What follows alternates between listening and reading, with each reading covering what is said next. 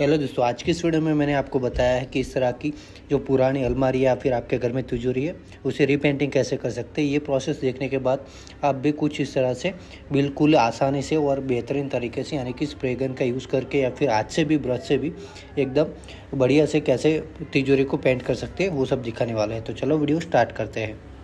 सबसे पहले तो दोस्तों इस तरह का कहीं पे भी पेंसिल या फिर कलर वगैरह से लिखा हो, या फिर ये अभी लिखा है, वो चौक कलर आते हैं ना, उससे लिखा हुआ है तो उसे हमें साफ़ कर लेना है। थिनर से साफ़ करने का ये मेन कारण होता है कि अगर कहीं पे जंग लगा है, या फिर कोई ऐसा टैप है, या फिर सेलो टैप है ग्लू लगाए, ये सब होगा तो थिनर से साफ़ हो जाएगा। जैसे कि अभी आप यहाँ पर देखो, यहाँ पर ये ग्लू लगा है डबल टैप लगाई हुई तो इसे हम डायरेक्ट हटाने जाएँगे तो पूरा कलर निकल जाता है और अब वो वहाँ पे गड्ढा वगैरह हो जाता है। पर थिनर लगाएँगे तो उसका जो ग्लू है, वो पिघलने लगेगा और उसके बाद कोई भी ऐसे ब्लेड लेके आप आसानी से ऐसे ऐसे स्क्रैच करके निकाल सकते हो। ज़बरदस्ती नहीं करना है, दोस्तों, अगर ना निकले तो दूसरी बार भी हमें वहाँ पे थिनर लगाना है और फिर इस तरह से स्क्रैच करना है तो वो पूरा निकल जाएगा। अगर कहीं से भी आपको गलती से कुछ इस तरह का कलर भी निकल जाए तो कोई टेंशन की बात नहीं, वहाँ पे सैंड पेपर से आप घिस दो और फिर हो जाएगा। अभी हम बात करते हैं कि इसे पूरा देखो, हमने सब जगह पे क्लीन कर लिया इसके बाद हम सैंडिंग करेंगे। सैंडिंग करने के लिए हम सैंडर मशीन का यूज़ किया है। आप अगर आपके घर में करना चाहते हो तो वहाँ पे पहले 150 नंबर का पेपर लीजिए। और उसके बाद अच्छे से घिस दिए। घिसने के बाद आपको लगे कि अभी जो पेपर के लाइंस वगैरह आ रहे हैं, थोड़ा स्ट्रॉक आ रहे हैं तो वहाँ पर आप टू ट्वेंटी नंबर का पेपर से घिस दीजिए और फिर अच्छे से साफ़ कर दीजिए। फ़िलहाल हम सेंडर से घिस रहे हैं तो सेंडर से किस तरह से घिसना है वो भी मैं आपको बता देता हूँ। कुछ इस तरह से पूरा अच्छे से घिसना है और ऊपर से जितना भी इसके डस्ट या फिर पुराना कलर लग रहा है ना, ये ब्लैक ब्लैक वो सब बढ़ जाना चाहिए अच्छे से। जैसे कि ये थोड़ी देर पहले आप देखो, नीचे थोड़ा ब्लू दिख रहा है, वैसा दिखना चाहिए। ऊपर इस तरह से मार्किंग है, गंदगी है रस्ट है, जितना भी वो उसे अच्छे से क्लीन कर लेना है। दोस्तों, ये नहीं करोगे ना तो आपका कलर है वो अच्छे से नहीं चिपकेगा और कुछ टाइम के बाद वो आराम से निकल जाएगा। अभी मैं आपको बताता हूँ उसके ऊपर हम कौन सा कलर करने वाला है। तो यहाँ पे हमारे पास एशियन पेंट का एप्कोलाइट तो इनेबल कलर आता है मैट फिनिश वाला, वो है। और ये कलर कौन सा है तो मैं उसके लिए ग्रे कलर लाया हूँ। डब्बा खोलने से पहले कुछ इस तरह से हमें सेक भी कर लेना होता है, क्योंकि कलर और केमिकल सब अच्छे से मिक्स हो जाए। अब यहाँ पे खोलने के लिए मेरे पास इस तरह का टूल है। अगर आप ये टूल ख़रीदना चाहते हो तो मैंने नीचे डिस्क्रिप्शन में लिंक दिया है, वहाँ पे जाके आप कर सकते हो। जैसे कि मैंने बताया था ना आपको, ये वाला ग्रे कलर है।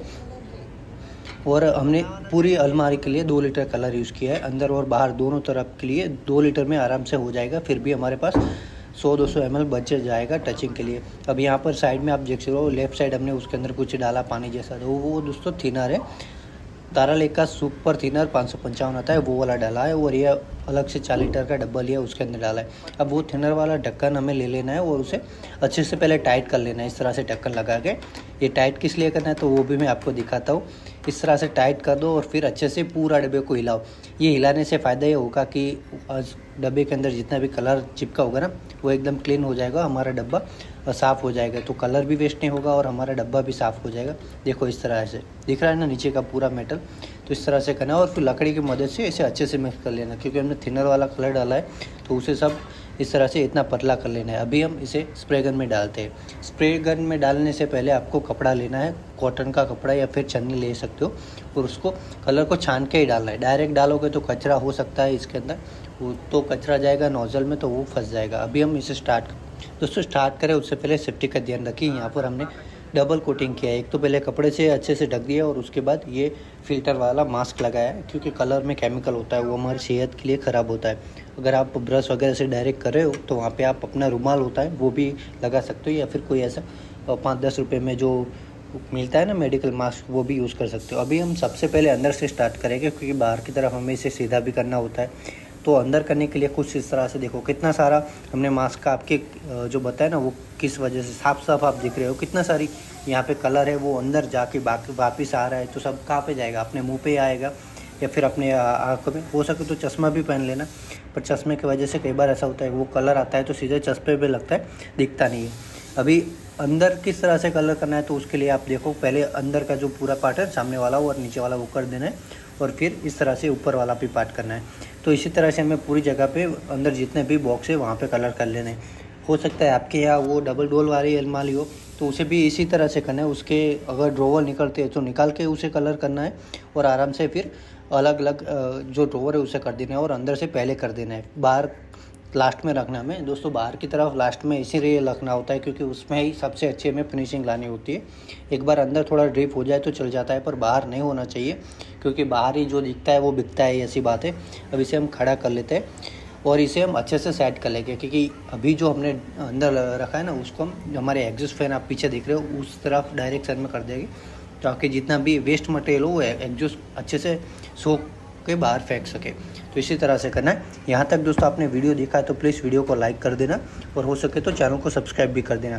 अभी सबसे पहले जितने भी हमने ड्रोवर किए थे, वो सबको बंद कर देते क्योंकि ड्रोवर के जो ये खाने हैं ना, ऊपर शटर वहाँ पे भी तो कलर करना है। तो वहाँ पे कलर इसी तरह से करना है। इस पर दोस्तों ट्रिक लगानी है कि पहले जो हमने सबसे मेन दिखने वाला पार्ट है, वहाँ पे एक ही साथ हमें दबा के कलर नहीं लगाना होता है। पहले थोड़ा हल्का हल्का कलर लगा दीजिए, यानी कि जैसे कि आप देखो यहाँ पे कहीं पे छूट रहा है, कहीं पे ऐसा हो रहा है कि क्योंकि वो एक पतली लेयर लगानी है। एक साथ आप डबल लगाने जाओगे या फिर एक ही साथ में आप कंप्लीट करने जाओगे तो वो छूट सकता है।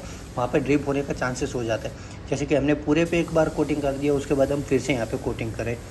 ये कोटिंग हम देखो आराम से और धीरे धीरे लेयर बाय लेयर करें। तो इस तरह से करोगे तो एकदम फिनिशिंग के साथ आता पे यहाँ पे अगर आप ब्रश यूज़ करें तो ब्रश के लिए मैं आपको सजेशन देता हूँ। आप पहले ब्रश कीजिए और उसके बाद ऑयल पेंट के लिए एक रोलर आता है, वो रोलर लेके ब्रश वाले जो पार्ट है ना, जहाँ पे आपने ब्रश से किए, वहाँ पे अच्छे से घुमा दीजिए। तो वो सूखने के बाद स्प्रे जैसा फिनिशिंग देता है। मैंने आपको ये ट्रिक बताई, याद रखना आप, अगर ब्रश या फिर रोलर से अपने घर पे करना चाहते हो तो किस तरह से कर सकते हो? फिर से एक बार बता देता हूँ ब्रश करना है ब्रश से अच्छे से पहले सब जगह पे कर देना है। यानी कि चार बाई चार का एक छोटा आधी अलमारी करनी जैसे कि अभी हुई।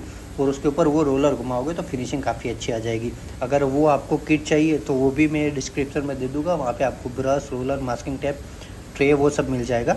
तो यहाँ पे अभी हमारा ऑलमोस्ट ख़त्म हो चुका है। अब पीछे का पार्ट भी मैं जल्दी जल्दी करके आपको दिखा देता हूँ। तो दोस्तों, यहाँ पर फिर से मैं बता देता हूँ, ये ट्रिक और ये सब पसंद आए तो वीडियो को लाइक करके जाना, क्योंकि आपके लाइक के लिए ही हम इतने सब मेहनत करते हैं और हमें मोटिवेशन भी मिलता है। तो यहाँ पर इस तरफ़ का ख़त्म हो गया। अब यहाँ से हमें अच्छे से दिख नहीं रहा है। तो हम इस तरफ़ आके यानी कि लेफ़्ट से पूरा घूम के एक पार्टी हमारा बाकी है। वहाँ पे भी अच्छे से कवर कर देंगे। ये दोस्तों याद रखो स्प्रे गन से करो तो इस तरह से पहले कोने करना है और फिर बीच का करना है।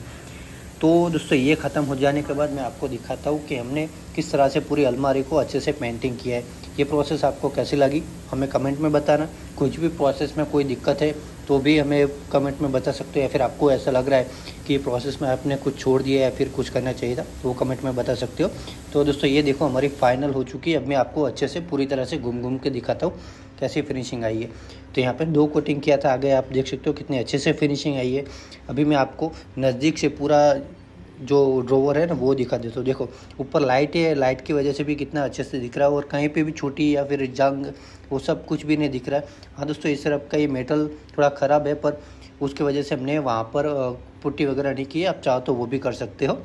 और वहाँ पे पतरे में कोई ज़रूरत नहीं होती। हाँ जहाँ पे हार्ड पतरा हो, वहाँ पे आप पुट्टी वगैरह यूज़ कर सकते हो। तो इस तरह से ये पूरी अलमारी आपको दिख रही है। देखो ट्रांसपेरेंट सब पीछे का दिख रहा है। इतना अच्छे से कलर किया है। तो आई होप दोस्तों आपको ये पूरी वीडियो पसंद आई है। वीडियो पसंद आई है तो वीडियो को लाइक करना, चैनल को सब्सक्राइब करना। तो चलो मिलते हैं किसी और वीडियो में।